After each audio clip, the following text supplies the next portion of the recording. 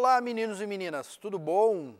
Mais uma aula aí de geografia, certo? Quem está aqui é o professor Douglas, o professor de geografia né, do nosso curso. Eu sou um homem de 1,75m, tenho barba curta, né, cabelo também curto e uso um óculos de hastes largas, tá? Então esse que eu descrevi aí para você sou eu. Olha lá, todo início de aula, tu já sabe, né? Nós já estamos na nossa aula 26 e ali já tá os meus contatos, né? O Instagram, o, o meu e-mail, tu tem alguma dificuldade, tu, tu, tu quer alguma esclarecer alguma dúvida, né? Entre em contato, marca lá no, no Instagram, certo? Para a gente poder é, saber, né? Dar resolução aí para o teu problema, tá, gurizada? Não vai para a prova com dúvida, tenta sanar, tenta é, entender o que, que é os conteúdos, a forma que ele é exigido nas provas, tá? Então, todo início de aula, tu já sabe, tá ali os meus contatos. O que, que nós vamos ver hoje? Olha só, o que, que nós vamos ver? Tensões geopolíticas no Oriente Médio. Essa região aí do nosso planeta, né? Uh, é uma zona, é uma região, né, um território complexo demais, né? E aí nós vamos ver quais são essas tensões aí que podem cair, podem ser é, objeto de alguma das nossas questões aí do Enem, tá? Vamos entrar então aqui já em uma. Gurizada, primeiro lugar, tá? É uma, é uma região muito antiga, então tu tem ali características bem dominantes, tá? Ela foi dominada pelos impérios também persa e turco. O uh, que, que acontece nesses impérios aí, tá? Eles dominavam essa região, então não tinha os países que a gente conhece hoje, eram, eram, eram impérios, né, eh, relacionados a isso. Só que esses impérios, a gente viu que na, nas aulas de geografia, história também principalmente, que a Primeira Guerra Mundial ela marca o fim desses impérios, tá? Império Turco-Otomano, é, e outros impérios, tá? O Império Russo, por exemplo, entre outras coisas, tá? Então ele vai acabar com isso aí. Esse, essa região, esses impérios, eles sofrem muito com essa revolução industrial, né? Que estava acontecendo é, na, na Europa ali um pouco antes da, da, da, Primeira Guerra, tá? Então com a expansão da Europa, né? Com essa, com esse consumismo aí da Europa, com essa produção da Europa, é, esse Império Turco ele acaba se aliando à Alemanha. Lembra, a Alemanha ela fica sem grandes territórios para poder escoar a sua produção, né? E a Inglaterra e a França, então, incentivam uh, esses, sabendo dessa questão aí que o Império Turco Otomano estava uh, aliado à, à, à, Alemanha, então a Inglaterra e a França acabam incentivando algumas, alguns, uh, algumas tribos a se revoltar, né? E aí depois com o argumento de que, olha, quando acontecer isso, né, depois que, que, que se dissolver esse império, vocês vão ter o território de vocês, vocês vão ter então o país de vocês. Né? Então muitas dessas tribos acabam uh, entrando em, em, choque aí para construir seus próprios estados, né? seu estado-nação. Tá? Uh, quais são os países que não surgem a partir disso aí? São dois, né, basicamente. Então nós temos a Turquia, né, que é a parte bem mais ao norte aqui, né, vai aparecer para vocês, né, no nosso mapa, que já era né, a capital, vamos dizer assim, do, do Império Turco, e uh, Israel, que Israel é depois né, da Segunda Guerra Mundial, a gente vai ver isso direitinho. Então, olha aí, ó, tá mostrando para vocês o mapa né, dessa, dessa região, né, dessa região pivotal, de como ela está hoje, tá, gurizada? Então, nós temos aí configuração de vários países. Nós temos o Irã, nós temos o Afeganistão, né, a própria Arábia Saudita, entre outras coisas. Né? Uh, então, é, se a gente pensar nessa área, ela é uma área né, uma grande, de grande, uh, grande importância histórica e geopolítica. Geopolítica a gente vai ver por causa do petróleo. Tá, meninos e meninas? Vamos passar mais um aqui então. Olha só, dentro dessa diversidade étnica, então nós temos várias questões uh, relacionadas a isso. Primeiro nós temos turco, né? É quem mora na Turquia, gurizada. Não dá para dizer, não, chamar eles de árabe. O turco é da Turquia, que nem brasileiro é do Brasil, certo? Então não dá para chamar eles dessa maneira. Os persas, né, que, que hoje estão no, no Irã, eles são muçulmanos xiitas, eles descendem dos xiitas. A gente já vai ver o que, é esse, essa questão dos xiitas. Aliás, a gente já viu em aulas anteriores. Hebreus, que são os judeus, né, que estão, então, no Estado de Israel. E aí nós temos um povo, né, uma nação bem forte, que são os curdos, né, um povo sem pátria. Né?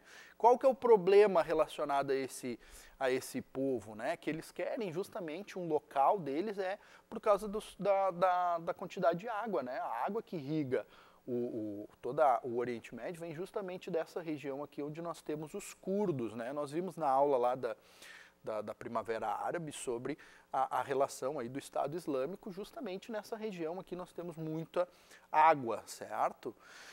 Outra questão, e aí entramos na, na questão do árabe. O árabe, tá, gurizada, como mostra o, o mapa aí para vocês, é quem mora nessa região, ó. Então, quem está na Arábia Saudita, Jordânia, Síria, né?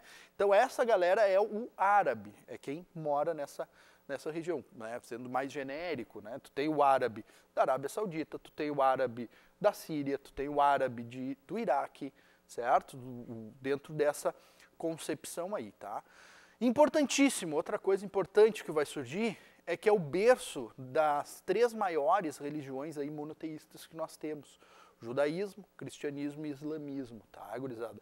Então nós temos essa, essa configuração, está mostrando aí para vocês as imagens né, de cada um, a imagem do cristianismo, né, com aquela é, cruz, né, aquela questão, uh, do judaísmo, né, a, o, o, a estrela de Davi, né, a concepção entre o, o feminino e o masculino, e a, a crescente né, e a, a lua crescente, e essa estrela, que são símbolos, então, do islamismo, tá, gurizada?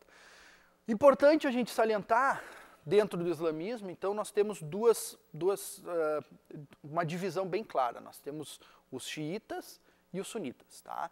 Quem são os xiitas, né? Quando Maomé veio à Terra, que é o, o grande profeta, né, ele, ele vem à Terra, deixa né, as, as sunas, ele deixa toda aquela escritura, e aí ele morre e não deixa é, um, um, uma semente fértil. Quem é a semente fértil que se diz né, no, no, no, islamismo? Tá? É homens, certo? Ele não deixa então um descendente homem, só descendentes mulheres. E aí então ele divide. Tá, então nós deveríamos ser xiitas, então nós deveríamos é, seguir né, a, a linhagem. Primeiro cara que surge é o Ali, certo? Que era uh, genro né, de Maomé, acaba se casando com a filha né, do Maomé, então ele se diz, não, eu sou o pertencente dessa questão. Então vão seguir aquilo que eu estou falando, porque eu sou o descendente de Maomé. Só que ao mesmo tempo surge os sunitas, né, que são aqueles uh, que seguem as sunas, que seguem as escrituras. Olha, se nós não temos uh, configuração direta, né, essa relação direta, de consanguinidade, então nós vamos para as escrituras. Então, xiitas e sunitas são essa divisão. Os xiitas são menos, né, em torno de 10 a 15% desses islâmicos, né? E os sunitas são, são os outros, tá? Então, eles são um pouco mais abertos, os sunitas, eles têm de uma, uma reflexão um pouco diferente das escrituras, tá? Só que a gente não pode pensar que os xiitas são mais radicais. Não, tu tem radical tanto nos sunitas quanto nos xiitas. Eles tendem a ser um pouco mais radicais porque eles recebem aquela palavra, né, de, uma uni, de um único, é, de um único, é, de uma única pessoa, né, do único profeta, tá? Então lembra disso aí. Xiitas e sunitas, essa é a divisão deles, tá? Os xiitas, eles ficam justamente nessa área aqui, onde é os persas, onde nós temos o Irã. Depois a gente vai ver que vai dar umas questões aí um pouco diferentes. Vamos passar então mais um aqui, slide. O que, que eu falei para vocês? Dire diretamente relacionado ao petróleo, tá? Então hoje a, a região que nós temos aí uh, é uma região que 65% do petróleo mundial, tá, gurizada, sai dessa região. Uh, e a gente viu que até a década de 70 ali, não, o grande motor, e até hoje, né, o grande motor que impulsiona as economias né, do, do, da questão energética é o petróleo. Então essas, essa região vai ser importante, vai ser uma região pivotal para o mundo. Né? Então, nós temos países muito ricos e também muito pobres, né? Essa desigualdade social da região também é muito relacionada a essa questão aí do petróleo, não só do petróleo, mas do poder né, de, de, de segurar aí o petróleo, tá? Concentra, então, maior número hoje de conflitos, tá, gurizada? É conflitos pequenos ou conflitos grandes, entre outras coisas. O que, que acontece? Antes, então, da década de 70, tá, gurizada, nós tínhamos essas empresas aqui conhecidas como as Sete Irmãs, tá? Elas que, que faziam a prospecção do petróleo, elas que retiravam o petróleo e elas que uh, dominavam aí o, o, o, o, mercado do petróleo, tá? Das reservas petrolíferas, aquela coisa toda. A partir da década de 70, uh, um pouco antes da década de 60, cria-se, né, na década de 60, a OPEP, Organização dos Países Exportadores de Petróleo. Tá? E aí começa a ter essa organização né, dos países, propriamente dito, para dizer, não, para que, que serve a OPEP? Tá? Da, da, vai aparecer ali. Para regular um cartel, para dizer, não, vamos vender a X o petróleo né, e ganhar em cima disso. Tá? Então elas que faziam, elas que fa faziam essas, essa, essa prospecção, né, ditavam o valor do petróleo e justamente, se a gente observar, são empresas é, dos países né, de primeiro mundo, os países desenvolvidos. Então, óbvio que elas vão fazer justamente essa, essa relação. E aí eu trago para vocês, já trouxe aqui um, uma vez essa tabela, né, o, a quantidade né, da reserva, justamente a Venezuela, né, o país que mais tem reservas, depois vem né, a Arábia, Arábia Saudita, Irã, Iraque, né, Kuwait, ó, Emirados Árabes Unidos, né, entre outros. Mas tu vê que a maioria dos países que estão ali são países do Oriente Médio. Como eu falei para vocês, ó, justamente um gráfico aqui em pizza para mostrar uh, a quantidade né, desse petróleo que é colocado uh, no mercado, né? E o Oriente Médio fica aí com 65%. América Latina, ó, mesmo sendo da Venezuela, fica com 13%, bem menos, né? Dentro dessa ótica aí, tá? América do Norte, ó, se juntar América do Norte e América, é, América Latina, né? Daí 16,5%, não é grandes reservas aí, tá? E a ex-União Soviética, né? queria tudo, toda aquela questão da Rússia chega aí a 6,2%. Então é bastante até se a gente parar para pensar um país aí relacionado a isso, tá? Então lembra disso, prospecção, né? As sete irmãs dentro dessa ótica aí. Vamos passar mais um aqui? Uh, e aí entramos nos aspectos humanos, tá, gurizada? Não é porque tem grande proporção, né, grande valor, que vai ser uh, vai ser direcionado à grande população, à grande massa. Tá? Hoje nós temos ali nessa região cerca de 300 milhões de habitantes. É um pouco, vamos botar 350.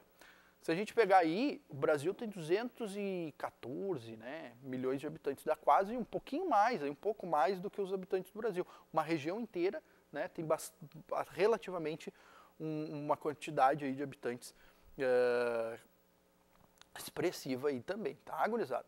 Nós temos os países é, ricos dentro dessa, dessa região aí, né, estão localizados justamente no Golfo Pérsico, porque além de vender, é, prospectar esse, esse petróleo, o Golfo Pérsico também escoa esse petróleo, tá? Nós temos ali o Estreito de Hormuz, que, Hormuz, né, que vai ser a passagem aí desse, desse petróleo. Então fica dentro dessa, dessa questão aí. Recebe muita, muito imigrante, tanto das regiões da Ásia, né, como do, do, do norte da África, entre outros, tá? Uh, e aí nós temos a Síria e o Iraque, né, como locais aí que estão expulsando as pessoas, né, por causa das suas guerras, né? O Iraque, uh, depois da, da, da, da, queda do Saddam Hussein, com a entrada dos Estados Unidos, né, expulsou muita gente, as pessoas saíram, o país entrou em declínio, aquela coisa toda. A Síria também a gente viu, né, uh, o Estado Islâmico, né, fazendo grande força ali sobre essa questão aí, tá? Uh, primário, né, dentro dessa questão aí da produção primária, a gente destaca a pecuária, né, principalmente a transumância. Eles levam os animais no frio para os locais mais baixos, né, mais quentes. No inverno, que é um inverno né, rigoroso, eles trazem para o local mais quente. Quando nós temos o calor, eles sobem as montanhas justamente para ter aí essa regulação térmica, né? Destaque então para Israel com os kibbutz, que são fazendas, né, dentro dessa ótica relacionado à, à, questão do, do, do, povo israelense. Secundário, nós temos a petroquímica, né, e aí dentro disso nós temos os sheiks, né, os sheiks árabes que detêm essa, essa, essas, essas questões aí da, da, do petróleo. Tá? E o terciário muito forte, o turismo, e eu trouxe justamente isso. Né? Uh, nós temos Dubai, olha que lindo Dubai, né? Dubai, para vocês terem uma ideia, tá aqui a foto do, de satélite, vai mostrar para vocês. É, essa, essa é uma foto de satélite. Em poucos anos eles duplicaram a sua costa, né? Eles fizeram aí essa, essa questão aí da, da, da, da, implantação de uma nova costa, né? Olha que lindo isso aqui, né? Tu tem uma entrada aqui, ah, os sheiks então moram ali, as grandes é, pessoas moram ali. Eles fazem o mundo inteiro, né, o planeta inteiro de forma de ilhas, né, ilhas artificiais, óbvio.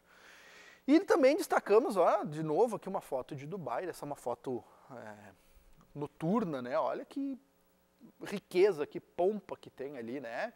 As luzes, né? Barcos, é, iates. Esses iates devem ser, bom, eu não sei, sinceramente, não conseguiria é, quantificar o iate desses, né? Não, não é algo que eu consiga é, mensurar. Né? Então são é, é, o berço hoje da riqueza que nós temos é justamente é, Dubai, né? Com essa proposta de ter né, uma capital do turismo, capital econômica, né, mundial, aquela coisa toda. Né? Vamos passar então mais um slide? Olha só, como eu falei para vocês, né, em 1960 então cria-se a OPEP, né, para praticar esse cartel, tá? Praticar esse cartel, dizer, olha, as sete irmãs, não, né, essas empresas aqui que são chamadas sete irmãs, não estão é, é, pagando justo para nós, então a gente vai né, fazer essa, essa questão aí, né, criar a OPEP justamente para regular o preço, né, para praticar esse cartel. Ó, tá, sei lá, 50 dólares o petróleo em qualquer lugar, do mundo vai estar, tá, o preço mínimo é esse, tá? Por menos que tu consiga tentar negociar, é esse aí. Então ela produz hoje de 40% do petróleo extraído no mundo a 70%, né? Produz 40% e 70% do, desse recurso que é exportado passa por ela. Então é muita coisa, ela detém aí grande parte desse mercado do, do, do petróleo, né? Em 73, então, nós temos a crise do petróleo, né, onde nós temos a nacionalização dessas reservas petrolíferas. Né, os países é, dessa região entendem né, que, que, que, que, os Estados Unidos está tentando forçar algumas coisas, e aí nacionalizam então essas reservas, tiram essas sete irmãs do, do poder e colocam, tá? Para vocês terem uma ideia, em questão de poucos meses, né, ficou quatro vezes mais caro o petróleo. Se fica quatro vezes mais caro, é no mínimo quatro vezes mais caro para mim uh, adquirir os seus, seus produtos, né, seus derivados. E aí vai dar uma, um, uns problemas sociais, a gente já vai ver aqui durante a aula, tá? Então o escoamento, como eu falei para vocês, é basicamente pelo Estreito de Hormuz, né, controlado pelo Irã. Então o Irã também tem essa, essa relação, tá? E aí eu trago para vocês, né, um, a imagem aqui do Estreito de Hormuz, né, uh, Golfo Pérsico, aqui nós temos o Kuwait, né, relacionado. Aqui está o estreito. Quem domina isso aqui é justamente o Irã, né, uh, os, os, que fica dominando essa região aqui, tá? Se ele quiser simplesmente dizer, olha, não vai passar mais nenhum navio, ele simplesmente pode interromper. Então, fica com essa carta na manga aí relacionada a isso, tá, gurizada? Algumas, algumas imagens, né, uma da Veja, né, da revista Veja, sobre essa época, né, uma arma decisiva na guerra, o petróleo, né? Mostra ali justamente sheiks árabes, né? Com, com, a, com petróleo ali, uma bomba de, de, combustível, né? Mostrando todo o seu poderio. E a imagem da OPEP, né? O símbolo da OPEP, eu acho importante a gente ressaltar esses símbolos. Quando aparece, a gente tem que saber o que está rolando, tá, gurizada? Então, essa é a relação aí que nós temos. Vamos passar mais um? E aí nós temos algumas questões de geopolítica. Primeira, tá? nós temos a, a questão da Palestina, né? a questão da, do, do, do, do, Estado de Israel. Uh, nós temos aí o conflito, conflito entre os judeus e os árabes palestinos. Lembra, árabe pode ser de qualquer lugar, então esse é os árabes da Palestina. Com a após a Segunda Guerra Mundial, nós tivemos um, um, uma questão relacionada, certo, do movimento sionista, uh, que era que, que foi defendido, né, pelo resto do mundo, justamente para tentar ajudar esses, esses judeus, né? Pô, os caras não têm pátria, né? sofreram tanto com a Segunda Guerra Mundial, né? Toda aquela violência, né? Então cria-se o Estado de Israel, tá, agonizado.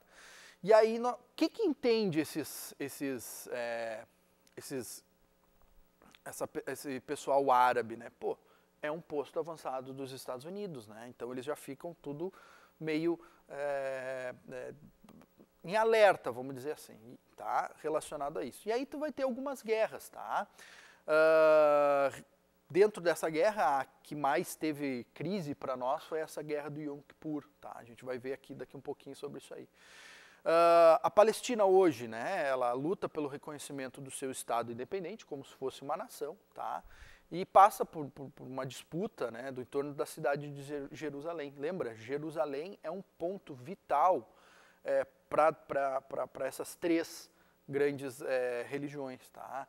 Então é um ponto turístico, religioso, sagrado para essas três religiões, né? Como a gente já tinha falado, tá? Quer saber um pouco mais sobre a Guerra do Kippur, né? Não vou, não vou me estender muito aqui. Eu trouxe um QR Code, tá? Aponta aí a tua teu celular, né? Dá pause se tu estiver no YouTube, mas uh, agora na, nas aulas da TVE, dá uma, uma, uma um, um, com a tua câmera, aponta aí, certo? Que vai te direcionar aí para que, que foi essa guerra do Yom Kippur, tá? Uh, é importante aí tu dar uma lidinha sobre isso aí. Áreas de tensão, tá? Então nós temos a evolução desse território é, de Israel, tá? Agorizado, nós temos a evolução. Em 46 nós temos a fixação desse, desse território aí. Já em 47, ó, ele já com, uh, uh, fragmenta né, o Estado da Palestina em dois, né, a faixa de Gaza e a Palestina. E aí, a partir daí, a Guerra dos Seis Dias, por exemplo, né, que foi uma delas, a gente já vai ver, a expansão maior aí que nós temos de Israel. E em 2011, a partir de 2011 até agora, nós temos justamente essa configuração, a faixa de Gaza bem menor, né, a Palestina também super reduzida, justamente por essas, uh, esses assentamentos né, de israelenses né, territórios. Uh, os dois estão certos, vamos dizer assim, tá? Só que teria, tem que, é uma questão aí que tem que preservar muito a paz, né? Aquela coisa toda, né?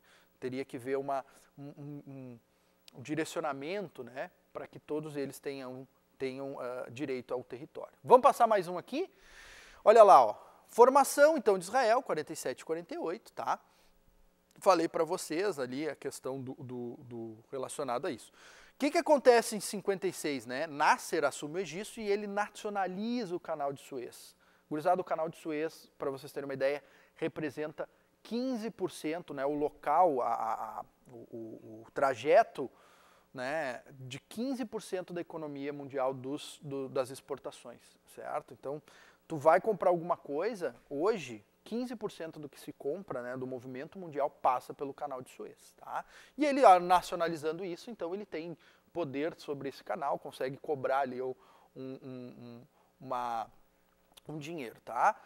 Em 67, então, tu tem essa guerra dos seis dias, né, a maior alteração de, de, das fronteiras de Israel. Olha aqui, ó, Israel pega justamente essa península de Sinai, tá, gurizada, que era uma região que, que Nasser, né, ele, ele, ele nacionaliza, entre outras coisas.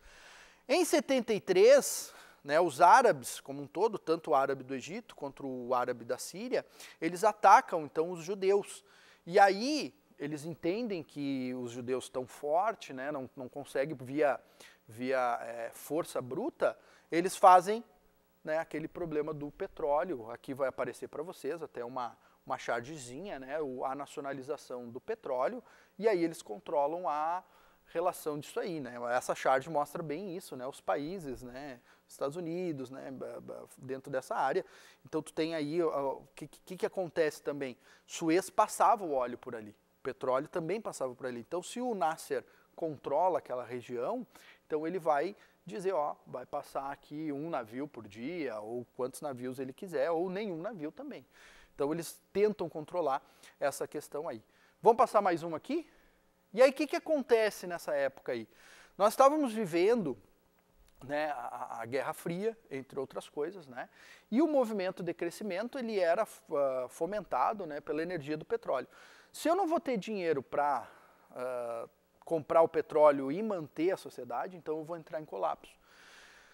Justamente no, na área capitalista estava tendo uma coisa chamada keynesianismo, que é o, o bem-estar social, e eu trago para vocês né, um QR Code sobre o keynesianismo, falando sobre ele né, sobre esse bem-estar social. Olha aí, está mostrando para vocês a, o QR Code, vai lá e dá uma lida, isso é importante, muitas vezes aparece na tua aulinha. E aí então surge né, duas, duas, dois, dois atores, né, vamos dizer assim, Margaret Thatcher na, no Reino Unido e Ronald Reagan nos Estados Unidos, com essas medidas de austeridade, retirando né, o governo, a, a força, vamos dizer assim, do Estado e deixando tudo ao, ao, ao bel prazer, tá? Então, ah, se tu tem dinheiro, tu paga, se tu não tem, aí é problema teu. O Estado não vai ter muita relação com isso, tá? Nos Estados Unidos, ah, no Brasil também nós temos a questão relacionada a isso, tá? O milagre econômico ainda estava rolando essa ideia do milagre econômico, tá? As dívidas foram lá para cima, né? O Brasil não conseguiu juros altos, tá? Uh, vamos passar só mais um aqui, falando então relacionado a, a a essa questão. Hoje, né, nós tivemos algumas uh, políticas né, e algumas guerras, uma delas sempre é relacionado é, sobre os extremistas, né, que é o, o, o, pessoal ali da libertação de Palestina. Eles não têm arma, para vocês terem uma ideia, eles acabam tocando que pedras nos tanques é, israelenses, tá? Isso é, é, é chamado de é, entifada, tá, gurizada? Uh, hoje, então, a aula foi bem densa, tá, gurizada? A aula foi bem densa, foi muito pesada, tá, meninos e meninas? Uh, vamos ficando por aqui. Lembra, tá? Uh, quer rever a aula, vai lá no YouTube. E partiu passar.